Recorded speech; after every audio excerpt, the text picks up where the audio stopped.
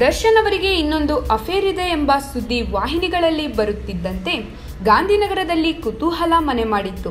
ಇದು ನಿಜಾನ ಎಂಬ ಗುಮಾನಿ ಮೂಡಿತ್ತು. ಏಕೆಂದರೆ ದರ್ಶನ್ ಹಾಗೂ ಅವರ ಪತ್ನಿ ಜೊತೆ ಸಂಬಂಧ ಚೆನ್ನಾಗಿಲ್ಲ.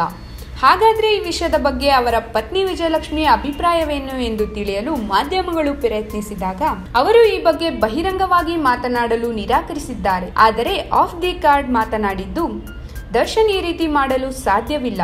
ಆ ಹುಡುಗಿಯು ಸಿನಿಮಾ ನಟಿ ಇರುವುದರಿಂದ ಯಾವುದೇ ಸಿನಿಮಾ ಚಿತ್ರವಿರಬಹುದು ಈ ಬಗ್ಗೆ ಆ ನಟಿ ಕೂಡ ಎಲ್ಲಿಯೂ ಸಂಬಂಧದ ಬಗ್ಗೆ ಮಾತನಾಡಿಲ್ಲ. ನೀವೇಕೆ ಊಹಿಸುತ್ತೀರಿ? ಎಂದರು. ನಾವು ಮತ್ತೆ ಒಂದಾಗಲು ಪ್ರಯತ್ನಿಸುತ್ತಿದ್ದೇವೆ. ದಯಮಾಡಿ ಈ ರೀತಿ ಸುಳ್ಳು ವದಂತಿಗಳನ್ನು ಹಬ್ಬಿಸಿ ಮತ್ತೆ ನಮ್ಮ ಮಧ್ಯೆ ಸಂಬಂಧವನ್ನು ಹಾಳು ಮಾಡುವ ಪ್ರಯತ್ನ ಮಾಡಬೇಡಿ, ಎಂದರು. ಅಲ್ಲದೆ ಆ ಉದಯೋನ್ಮುಖ ನಟಿಯು ಒಬ್ಬ ಹೆಣ್ಣು ಮಗಳು. ಅವಳ ಭವಿಷ್ಯವನ್ನು ಹಾಳು ಮಾಡುವ ಇಂತಹ ಗಾಳಿ ಸುದ್ದಿ ಮಾಡಬೇಡಿ ಎಂದು ಮನವಿ ಮಾಡಿದರು. ಅಲ್ಲದೆ ಇಂತಹ ಕಾರಣಗಳಿಂದ ಇತ್ತೀಚೆಗೆ ಸಾಂಪ್ರದಾಯಿಕ ಮನೆಯ ಹೆಣ್ಣು ಮಕ್ಕಳು ಪ್ರತಿಭೆ ಅವಕಾಶಗಳು ಇದ್ದರೂ ಚಿತ್ರರಂಗಕ್ಕೆ ಬರಲು ಹಿಂದೇಟು ಹಾಕುತ್ತಿದ್ದಾರೆ. ಇದರಿಂದ ಅವರಲ್ಲಿರುವ ಅಭಿನಯ ಪ್ರತಿಭೆ ಕಮರಿ ಹೋಗುತ್ತಿದೆ. ಇದರಿಂದ ನಮ್ಮ ಕನ್ನಡ ಚಿತ್ರರಂಗಕ್ಕೆ ನಷ್ಟ ಎಂದು ಕಳಕಳಿ ವ್ಯಕ್ತಪಡಿಸಿದರು.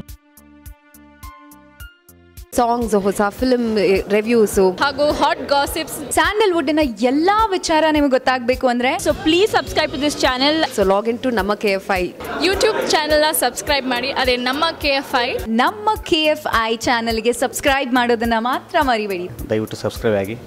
ನಮ್ಮ ಕೆ ಎಫ್ ಐ